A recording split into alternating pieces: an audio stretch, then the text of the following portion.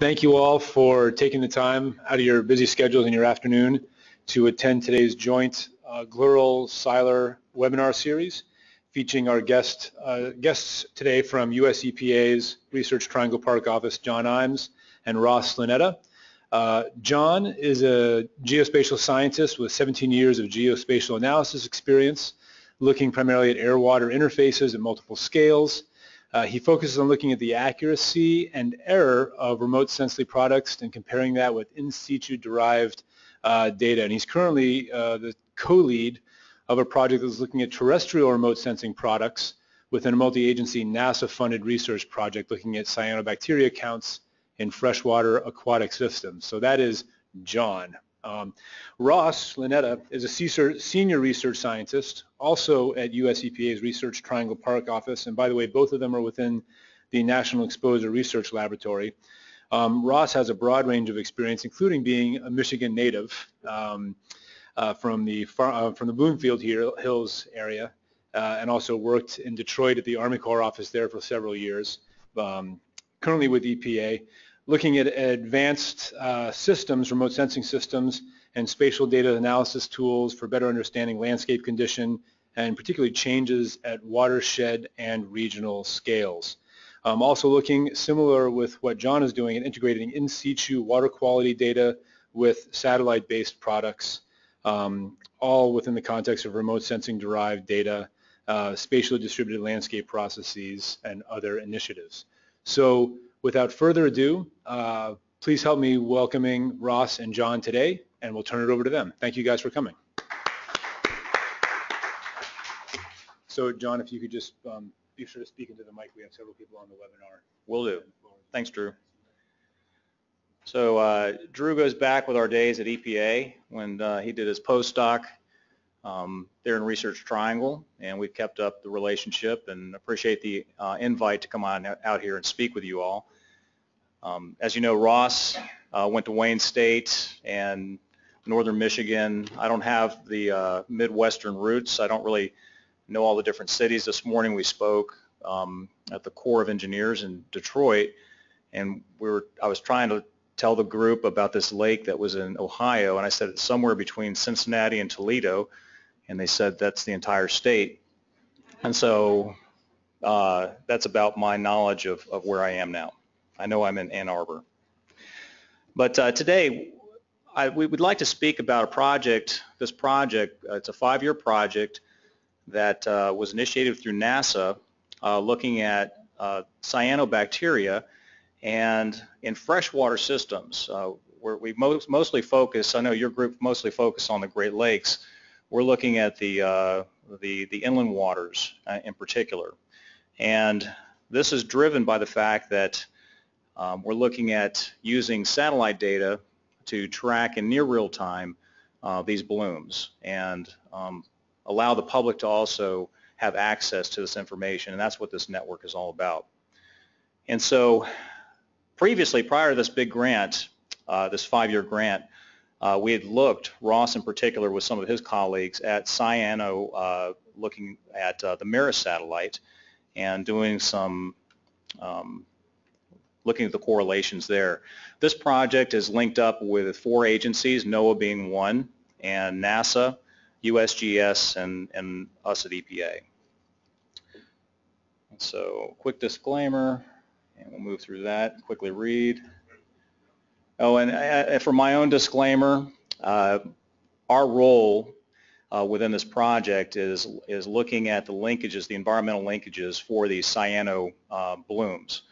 And uh, Ross brings in particular his expertise in aquatic and marine and uh, the cyano background. I bring in the terrestrial. That's I'm a forester by background, and so um, at times I may give it over to Ross for a few minutes and he may say a few things if I miss something on some of these slides. But the first thing I want to do is just talk about, you know, the main issues, as you well know, this, this audience is well um, informed about what's happening, but, uh, you know, looking at the uh, cyanobacteria, chlorophyll A, and turbidity, um, we want to be able to operationally monitor these um, using these techniques. Um, basically, we've been limited by the fact that it's it's been mostly in situ data that's been available to us. And uh, there hasn't been much standardization, not easy to access the data. And, uh, you know, the, the, the, uh, the overall goal for this project is not just for this to be a research entity, but to get this data and this information down to the end user, down to the management level also. And we'll talk about that. Oops. So what are they saying? Very good. So our goals are to basically get a standardization and to uh, develop uh, a cyano index to disseminate, to get this information system out, produced specifically by uh, a satellite system. Uh, we want to be able to also, as I explained earlier, explore the connections, the linkages between health, economic, and environmental conditions to these blooms. Uh, at EPA, our role primarily is with human health and the environment, and so we're exploring those linkages. Whereas the other players in this USGS is really dealing with the algorithm development. Um, many of you know Rick, Rick Stumpf. And then um, with NOAA, um, being able to, actually NOAA develops the algorithms, USGS does the validation, and then um, us working on the health issues and the environmental connections. Uh, and NASA ultimately will disseminate the data once it's out.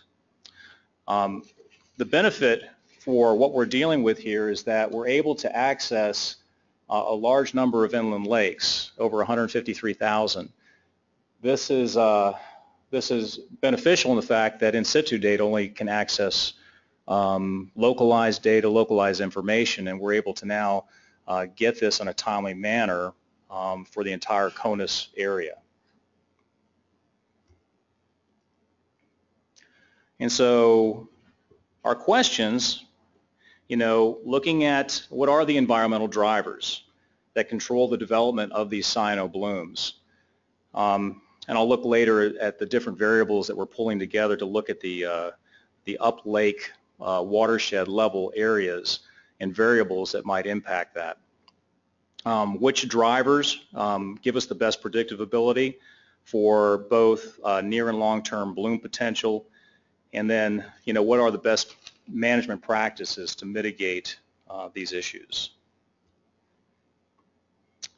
So again, I, I mentioned that uh, there are a number of different groups involved, and this flow chart uh, basically shows the different groups. At EPA, we've got uh, a number of different we've got a number of different labs that are working together uh, to deal with both the the health impacts and the environmental impacts. Um, we are as an example, looking at the correlation, looking at uh, hospital visits where bloom activity has happened. So we're trying to pull those that information together. Um, we're looking at uh, environmental factors, the cost. You guys had that uh, two years ago, that Toledo event.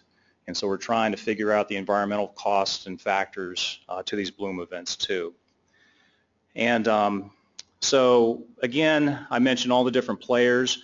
Uh, specifically, USGS uh, has allowed, um, is doing the validation with the algorithm. Um, they're also providing uh, data for a Landsat 8 surface water temperature product. And so we're in the midst of validating that right now. And, uh, and ultimately, um, we're looking at um, bringing in Sentinel-3 um, into the fold as far as, value, as far as getting these chlorophyll values. And so, so right now we have uh, Landsat with USGS. So Landsat, we're looking at, for Landsat 8, the uh, temperature product and um, with Sentinel-3 and VIIRS, uh, NOAA's looking at um, bringing that into the fold as far as the cyano counts. And um, what EPA is going to be doing is bringing that into a distribution um, mode and uh, into a mobile app we'll talk about, as well as a website that distributes environmental data called the EPA's Enviro Atlas.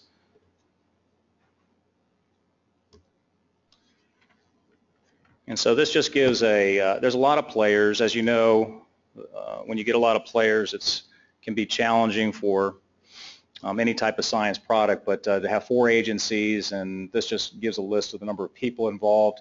reason I wanted to bring this up is we've got a number of folks here in the Great Lakes area that we work with uh, that you may be familiar with. Um, we just met with the Corps of Engineers down in Detroit, and um, there was also a Corps of Engineers individual who was in um, uh, Cincinnati that's also involved in this.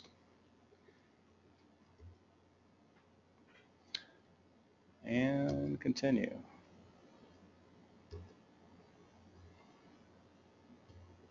Excuse me.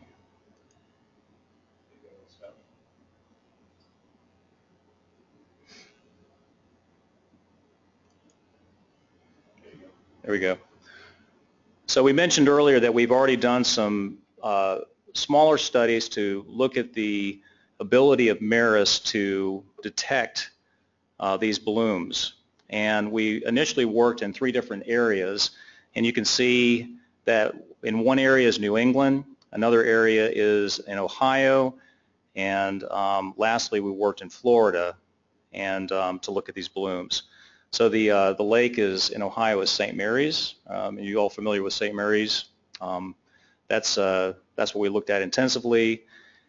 And MERIS, the satellite MERIS, is a, has a temporal um, collect of every two days. So it's very, very uh, fine scale in that manner. We get a lot of data. Uh, however, it's at a 300 meter resolution, so we're limited as far as the size of lakes that we can actually um, we can actually image and get information from. And so really the size of lakes we're looking at is at least a 15 hectare lake. Now obviously the lake has to be the formation of that lake if it's narrow uh, we're not going to be able to get a pixel in there. So we're really looking at a window of about a 3 by 3 MERIS uh, window with a single pixel that we can get from the middle. So that's why we're uh, we're limited to 15 hectares and above uh, for these lakes. The next slide shows the results of um, the MERIS cell counts versus the in situ. We've got a lot of data in these areas. And you can see that there was a sign of binning or clumping that was going on within this data and uh, some good correlation. So we decided instead of taking the uh, individual values to go ahead and bin them. And the binning produced basically a low, medium, high, and very high um, ranges for these different cell counts. And um, what we noticed is that uh, this binning did not correspond, doesn't really correspond well to the uh, World Health Organization um, definition of low, medium, and high and all those things. There, that's more of a random definition or designation for the different uh, cell counts. And um, the problem is, is that uh, there is a, what the satellite detects is more surface area versus what we just talked about earlier with the uh, with the cell counts being in situ and collected that way. So it's kind of a little bit of of apples and oranges as far as that goes. We've discussed a few of these slides. Do you have any input you want to make? Doing good? I'm excited I'm getting back to the terrestrial here in a second. So as we pursue this, you can see the correspondence with the in situ data at these different binning levels. We get very good correspondence at the low and the very high, but in the middle, the, the uh, medium and the high values, we, we definitely got more confusion.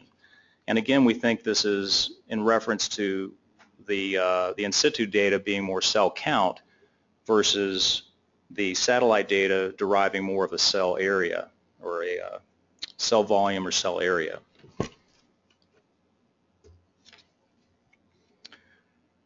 So our purpose, one of our other segments of this project, and we have some folks down in Athens, Georgia who are developing um, a, a cyan mobile application.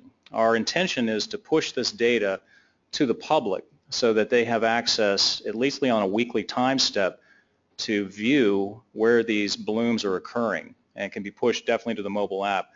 Um, initially, we developed this through um, a particular uh, uh, vehicle, and uh, it was initially developed to go to the Apple system.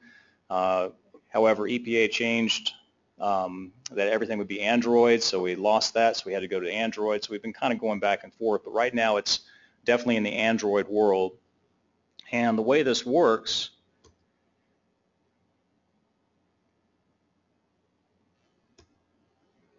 is that uh, basically the user will be able to go in and get a graphic, pick out their lake of interest, um, and we'll have these different different values of low, medium, high, or very high uh, for the counts for that particular date. And we have this in beta form, form right now.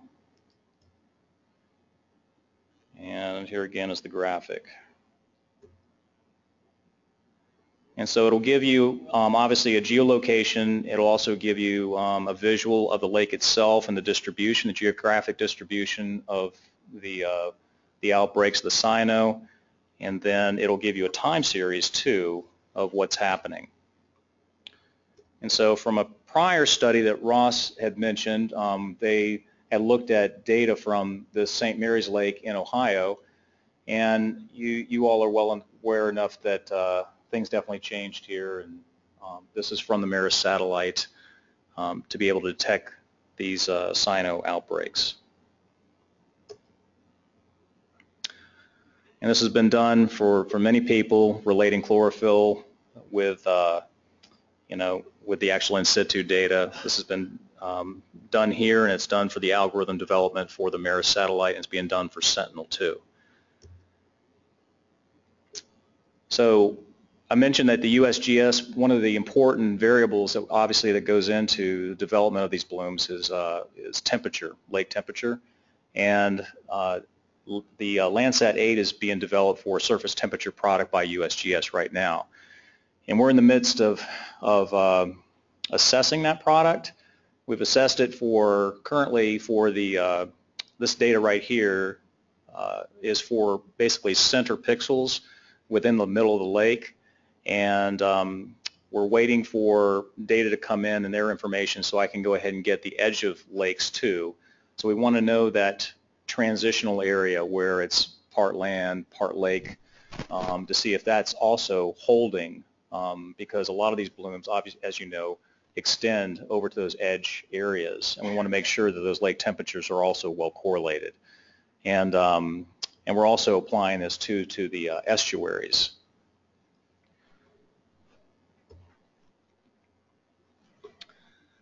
So here are some of the ongoing efforts, and um, so we've got the, the algorithm and we are a little bit, we're, we're still, we just got the data in for the MERIS from 2002 to 2012. And we're beginning to, I'm going to show you some slides on that here in a, here in a minute. And um, the data will be publicly available. You're familiar with CDAS. It's a NOAA site, you guys, correct? Is that right? You guys are all on in on that one? It's all new to me, but CDAS is uh, one of the areas they're going to be uh, storing this data and serving it out. Um, but uh, as mentioned, we've also we've we've already looked at it regionally, and um, the Sentinel data is going to become available fairly soon with the uh, the Ocean Color Land Imager, that instrument with on that sensor, and that's also at 300 meters. And this is just an example of a couple of the lakes that we've looked at in California. And, um, you know, looking at the in situ data, which is on the bottom of the, uh, the slide, and the, the MERIS data is up on the top, and looking at the distribution and trying to see how well the algorithm performs.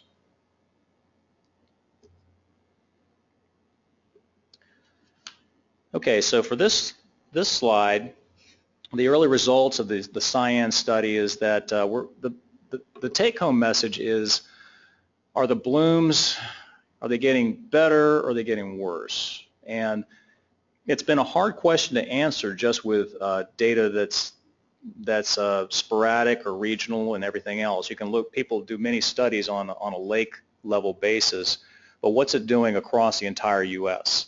And so we're hopefully taking this data and be able to look at it on an area basis and on a timely basis, see are they, are they increasing. However, you can see that some of the lakes, like the one in the, if you look at the graph, I don't know if they can see this online, but this, uh, no you can't see that, but the top graph on the right, um, fairly flat line, fairly stable system. You would say that lake, that lake system is, is not changing that much. And a couple others show a general upward trend where it is actually changing. And so um, the difficulty with this and looking at an area base is that if you understand satellite data, uh, you get you get uh, atmospheric inter interference, and so if you're looking at one lake at one time period, um, it may be interfered that one pixel at a different time period. Um, you may have some sediment issues that are coming up that are interfering with what you're getting back, and so it's not as easy as you may think that you're going to get the exact same number of pixels at every single date. And so um, uh, we're working through these different uh, challenges to try to make, um, to look at these trends to see if we can make a statement on them. All right. Uh, looking at the area, uh, Ross and I are here for two weeks. We're going up to, um, we're leaving here and going to Wisconsin tonight and starting um, uh, really a robust look at some riparian buffers in both Wisconsin lakes that are, that are that have been identified as uh, culprits in the cyanobacteria world, um, both in uh, the Minneapolis area and in Wisconsin. Um, we've taken the Great Lakes Basin and expanded it uh, so that we can include a lot of the uh, western portions where North Dakota, South Dakota are, and also extended it through the middle of Vermont so we can catch Lake Champlain, which is, also has a number of uh, cyano blooms. So the goal here within the environmental aspect, looking at, you know, can we look at causation or look at linkages, is first of all to uh, identify the lakes with high uh, uh, cyano counts um, between these dates of 2002 to 2013. We're assembling variables, um, all kinds of env environmental variables, which we'll look at here in a minute, uh, at a grid level and also at a HUC level, at these 14-digit uh, HUCs and we're looking at lake shed linkages to, um, to possible smoking guns, so to speak. And so here are some fresh images from the data that we just uh, got probably two weeks ago. And that's Lake Winnebago. That's the lake, one of the lakes we'll be looking at the next couple of days and looking at the lake shed behind that.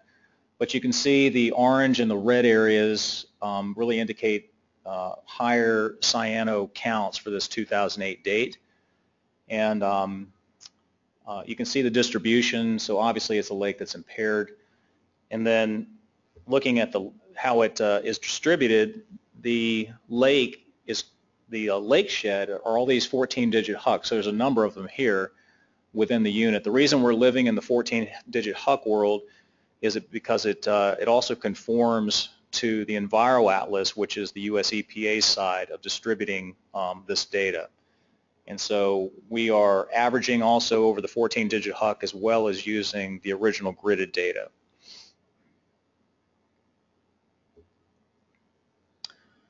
And so I don't want to go into this great detail, just to know that nitrogen can be nasty, um, and um, as it gets in the system, it's just a good slide to have. And so all of us are, fa are fairly aware of, of, you know, the uh, human side of nitrate and where it comes from. So obviously the ag side uh, can be fairly large and looking at different applications. Uh, feedlots um, are a big one. And, um, and they're a difficult one to map out. If you go on, you know, EPA back in 2007 was able to work with the USDA to get a county level count of, of, uh, of uh, constrained, they constrained animal feedlots, contained animal feedlots, um, these CAFOs, and so they've got them listed at a county number, county level, and so this is the, the tricks of trying to work with this type of data. So how do you take the county, and you've got these, you may have six 14-digit uh, HUCs that represent that county, and how do you distribute um, you know, that count throughout those 14-digit HUCs. Um, do you equally distribute it, or you know, do you go in with finer tune, which is very difficult? And so there's there's a lot of learning here to how how to get the best data in here. And so uh, there's obviously all these other issues that are going on for sewage and lawns and parks and percolation. And so um, the CAFOs are a big deal, row crops obviously, and you can read these bullets on your own. Ag lands are primary source, and um, a lot of loading that can go on within these ag systems. Where my world comes in is um, we're looking in this research, and actually over the next two weeks, is really identifying the riparian buffers. And um, they can be very effective in removing nitrogen. And what we found is that the most effective buffers are ones that, that are a mixture of uh, forested land and have a grass shrub understory. And um, and so you don't want to you don't want a buffer that's 100% canopy closure because it it shades out everything underneath. And, and so any storm event, large storm event, that overland flow is not going to be, it's not going to be stopped. But if you have just a grass buffer, that's a good thing. But it also, but what, what's going to happen with that is it's just going to mat down over a big storm event.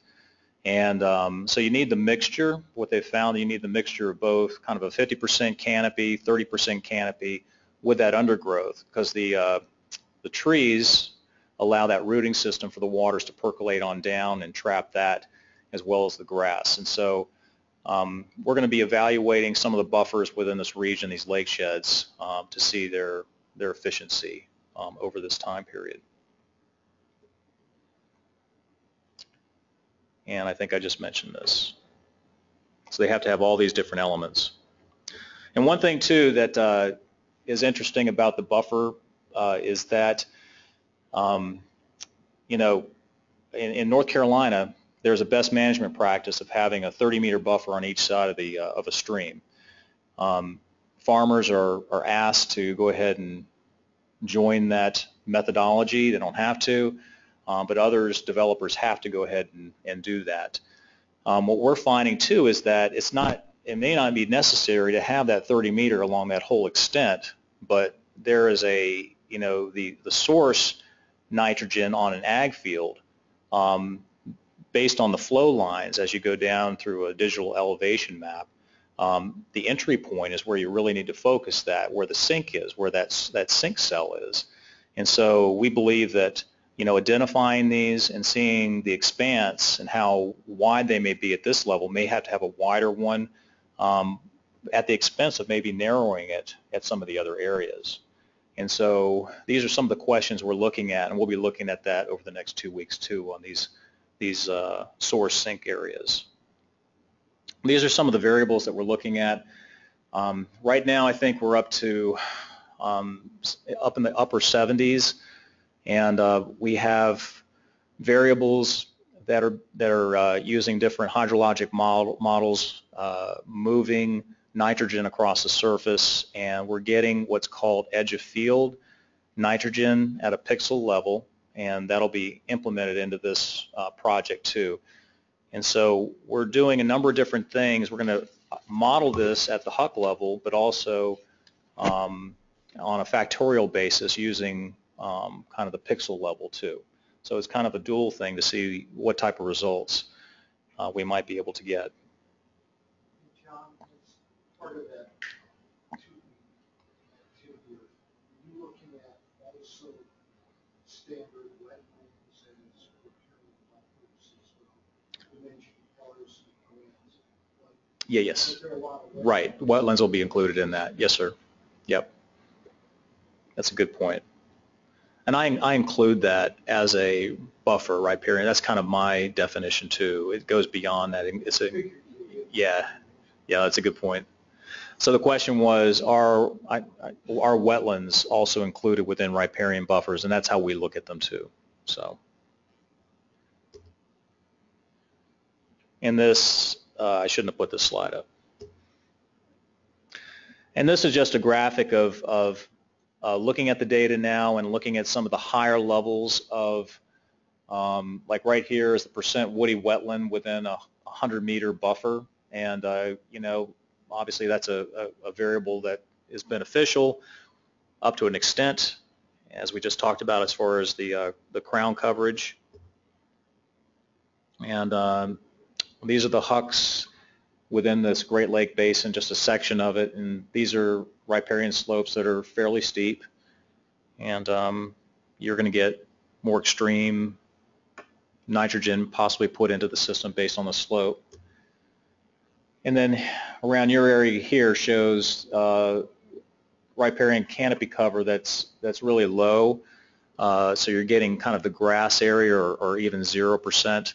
And so you can see that uh, um, Michigan has a lot of a lot of riparian buffer that's uh, probably not meeting that perfect, uh, you know, if you want to say perfect, um, characteristic of what would be helpful. So there's a lot of it there. So we're going to be getting into this and teasing this out. Again, we're in the, the first really six months of this project and we're just now getting the data. So you're, you're getting the initial stages of this. I think that's it. Okay, soil erosion, so um, greater than 30%. And uh, that's all I have. Ross, do you have any any last thing you'd like to say? Right. So I'm going to do something which is probably dumb, is try to go on the web and find this. Can I do this here?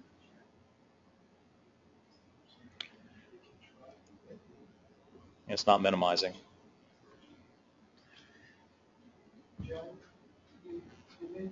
Don't you pass that? Yeah. you, you mentioned a lot about nitrogen, but uh, is phosphorus is a real issue too, but is nitrogen your surrogate at this point? No, uh, phosphorus is in play. Uh, we're, we're also tracking phosphorus, but great question. Yeah, I, I'm a, The better way to think of that would be nutrient potential. So that'd be a better term to use. yeah. any other questions while we get this? Is this frozen? Oh, there we go. Hiding over Well, then there. how do I get So in order for the webinar to Yeah. fit, it needs to be on that screen. So So how do you'll I see have to um, Like play with it do here? like that, Oh, unfortunately. wow, okay. Lyro, Alice. Okay. Okay.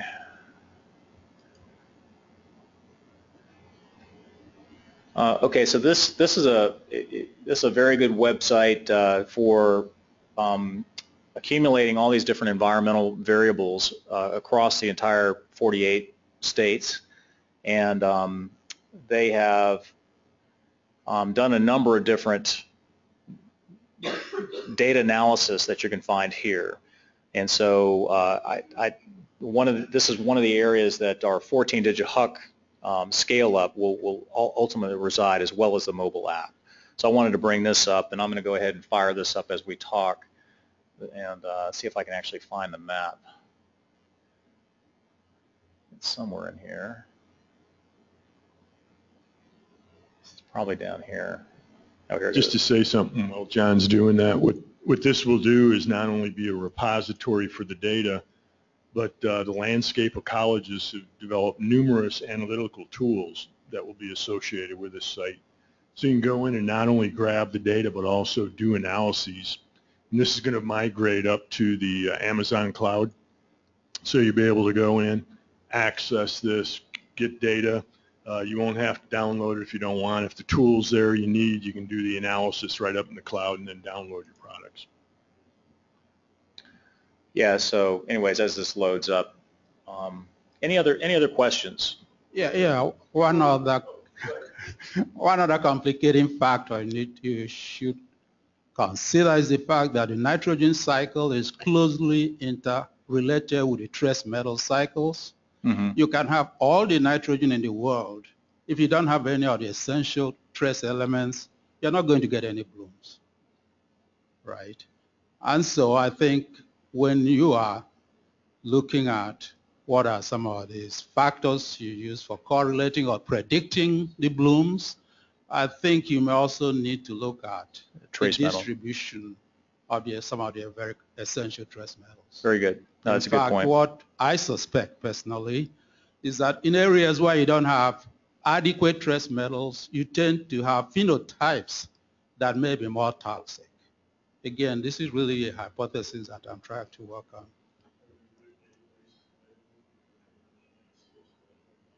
Uh, we are trying to do something. Sorry, my name is Jerome Nriagu. I'm in the School of Public Health, University of Michigan. Very good. Thank you. I just want to say, yeah, we, um, first of all, thank you for the talk as we continue, but let's take a moment to thank John for his talk. You're welcome. And Coach Ron, we have plenty of time for questions, so we have, we can pass around the microphone for questions in the room. It's a great way to, to get them articulated, and there may be questions online as well, but, uh, the floor is open for questions or comments.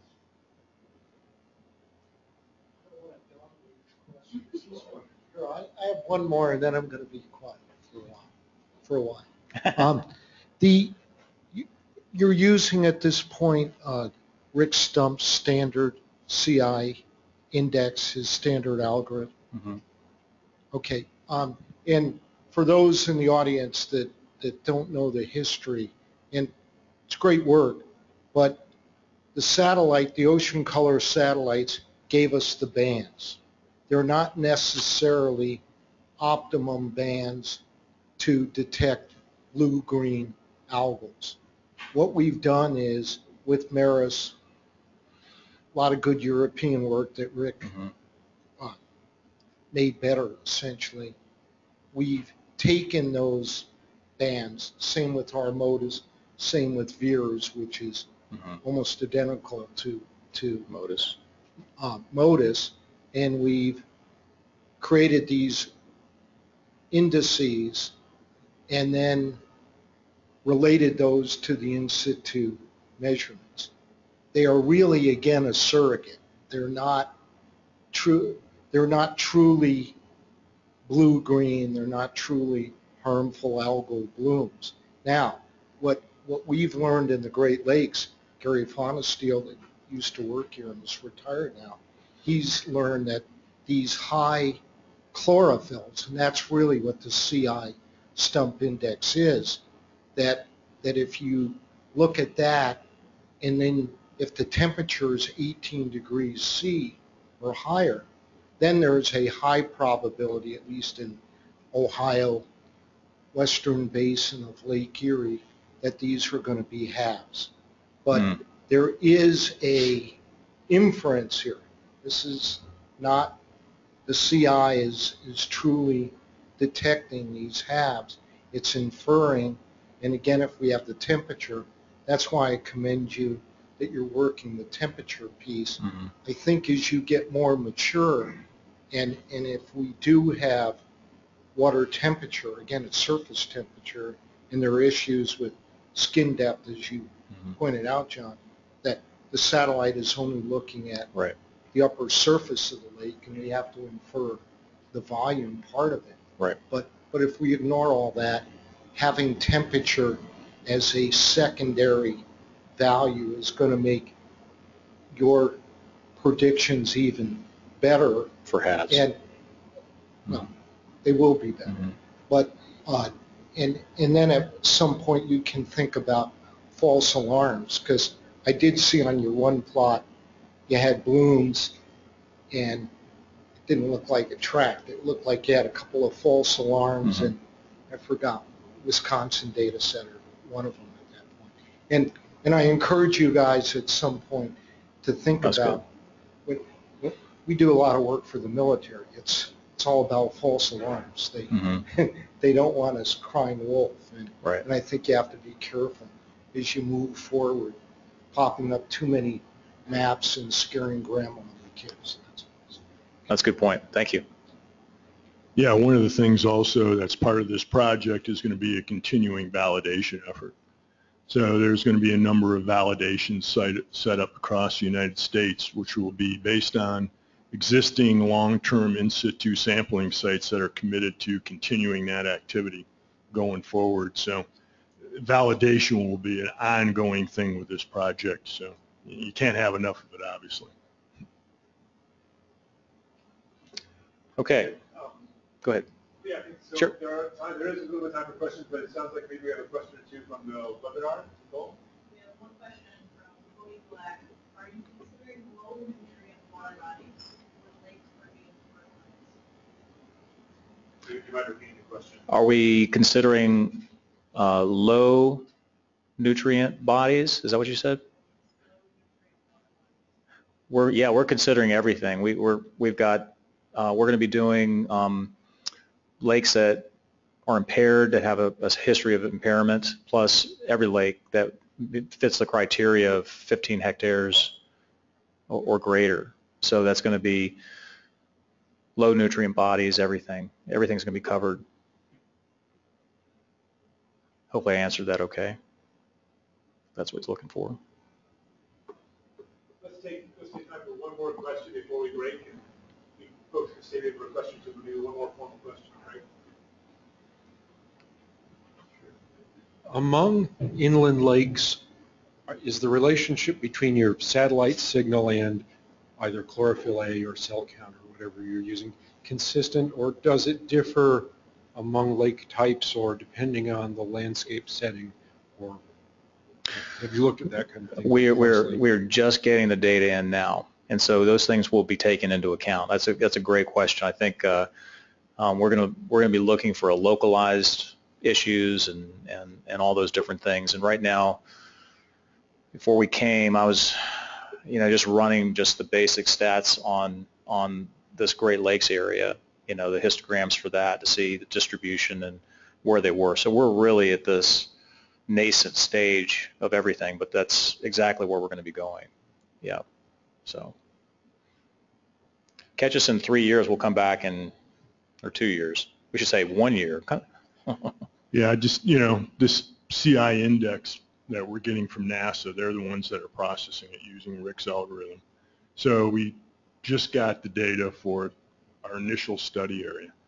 So we're not to even a version one product yet. For those people that are uh, familiar with things like MODIS, where you have different versions, and I expect we'll have the same thing here, but we haven't declared V1 yet.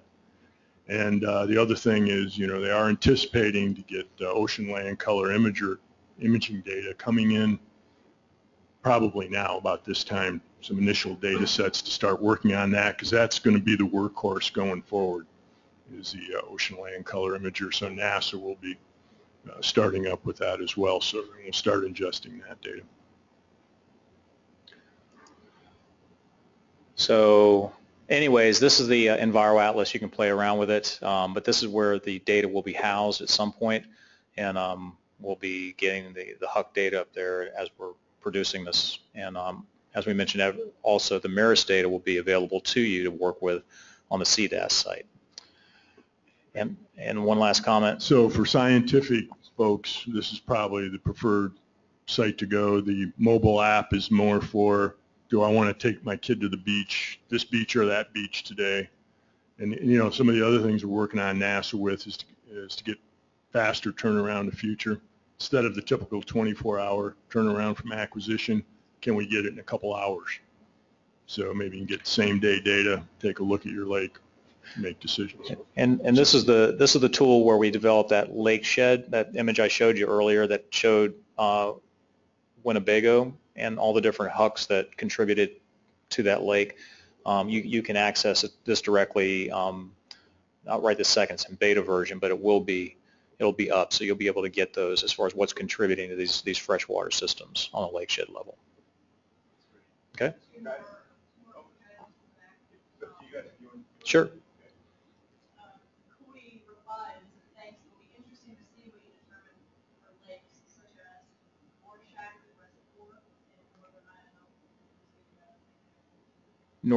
guys?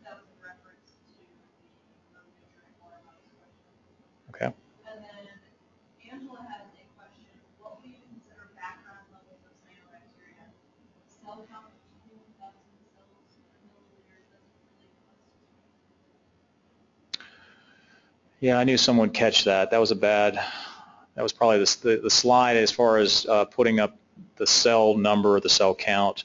Um, I probably could have termed it better, but what we're looking at is um, a value of 10,000 or more um, to be our indicator that something's happening in the lake. So that that basically allows us to see um, that, uh, that there, that there is impairment, whether it's a low, medium, or high. And so, um, but good question. Um, is that it? Okay, thank you.